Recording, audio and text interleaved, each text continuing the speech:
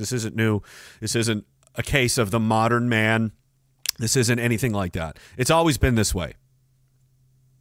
There has always been at large the great masses of people being taken advantage of and used as economic units, as farm animals, as cattle to enrich its political ruling class, and that's it.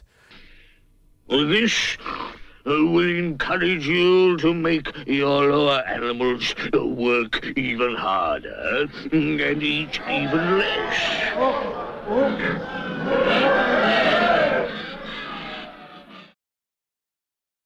What fruits do they produce? They produce homelessness, they produce a fentanyl crisis, they produce out of control runaway crime, out of control runaway migration, endless wars with no explanation whatsoever, endless taxes to fuel their endless wars and endless endeavors that are, that are not of any benefit to you or me or our children, but are solely of their own benefit. Pay more for this. Give us more of your money for this. Send us more of your children to die in our endeavors, in our wars, in our conquests, so that we can live fat and happy on the hog.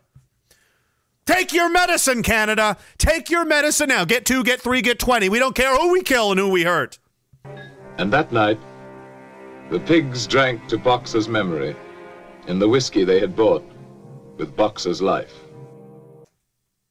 I'm done. I am sick of it. I am sick of seeing it every single fucking day of my life lip service and pandering, pander, pander, pander. The bodies pile up and the misery piles up, and it goes on and it goes on and it goes on. I have a question for you, you political parasites, you weak kneed, impotent little bitch people. You couldn't accomplish anything if your lives depended on it. All you do is exist to leech off of the rest of us. I have a question for you. At what point is it too much?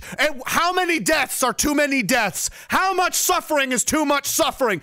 How much ruin of this country will you tolerate before it is too much? Because from where I'm sitting, it's none. It's nothing. There's nothing they won't tolerate. There's no end to it. There's never going to be an end to it. And that's the problem. That's the problem. So it's right now, today, right now. It's enough.